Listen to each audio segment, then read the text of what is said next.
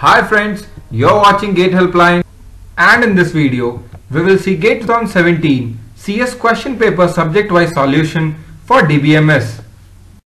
Friends, please hit the subscribe button and click the bell icon to get all the latest updates from our channel regarding GATE exam. So friends, let's start taking questions one by one.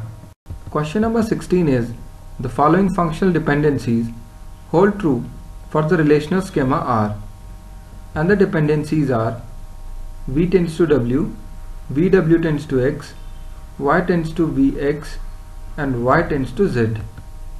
Which of the following is irreducible equivalent for this set of functional dependencies? And the options are A, B, C and D. So friends, now we will see explanation to this question. Here in this question, we are given with schema R with the following functional dependencies and the functional dependencies are V tends to W, VW tends to X, Y tends to Vx and Y tends to Z. Here from the first dependency we can calculate the closure of V that is V comma W and with the help of VW we can get X with the help of second dependency. So in the second dependency by calculating the closure of V we know that we can get X. So in this W is extraneous attribute as if we can determine W and using that VW can determine X. So now we will go for third dependency that is Y tends to Vx. In this dependency we can write it as Y tends to V and Y tends to X. In this dependency Y tends to X is exogenous attribute because after deleting X we can determine it using Y tends to V as you can calculate the closure of Y and you can achieve X. So there is no need of this dependency that is Y tends to X. Now we will see each option one by one and try to eliminate that. So for option C, Y tends to X is an unnecessary dependency and for option B, W tends to X is also an unnecessary dependency. Similarly for option D.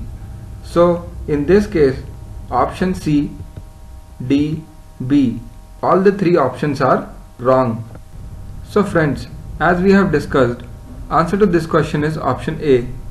Option A is irreducible equivalent for this set of functional dependencies. Is consider a database that has the relation schema EMP having EMP ID, EMP name and department name. An instance of the schema EMP and a SQL query on it are given below. This is the EMP schema and this is the SQL query. The output of executing the SQL query is dash. We will see explanation to this question. This is our EMP schema and this is our given query which we need to evaluate. So we start from the inner query. Here we need to select department name and count of employee ID in respective departments. As department AA, the count of employee ID is 4. We alias it as EC and map with department name as department name and count of employee ID as num. In outer query, we need to find the average of ec.num where ec.num is the count of employee ID having ec alias. So the output of the inner query is shown as this. So here we are having department names with the count of employee IDs or the employee the number of employees which the departments are having which we can see as this. So the average of num is 4 plus 3 plus 3 plus 2 plus 1 upon 5 equals to 2.6. So as per our explanation, answer to this question is 2.6. So question number 41 is, consider a database that has the relation schema EMP having EMP ID, EMP name and department ID and department, department name, department ID. Note that the department ID can be permitted to be null in the relation EMP. Consider the following queries on the database expressed in tuple relation calculus. First, second and third are the tuple relation calculus queries. Which of the above queries are safe? And the options are A. First and second only B. First and third only C. Second and third only and D. First, second and third. So friends now we will see explanation to this question. So first of all our question is what is a safe expression? A safe expression is one that is guaranteed to yield a finite number of tuples as its result. Otherwise it is called unsafe. So given department ID can be permitted to be null as given in the question. So first query is this and the result of this query is it gives employee names who do not belong to any department. So it is going to be a finite number of tuples as a result. Second query is this and it results in employee names who do not belong to some department. So this is also going to yield a finite number of tuples. Third one is this query and it gives employee names who do not belong to same department and this one also going to yield a finite number of tuples. So all of these queries are giving some results which are finite and thus are safe expressions. So therefore option D is correct. So friends as per our discussion answer to this question is option D that is all the queries first, second and third are safe. Question number 46 is consider the database that has the relation schema CR having student name and course name as column. An instance of the schema CR is as given below. The following query is made on the database that is T1 tends to pi course name row student name equals to SA CR T2 CR divided by T1. The number of rows in T2 is dash. So friends, now we'll see explanation to this question. In this question, we are given with the following query is made on the database. These are the two queries. The number of rows in T2 is question mark that is we need to find and the table is given as CR having student name and course name as the two columns.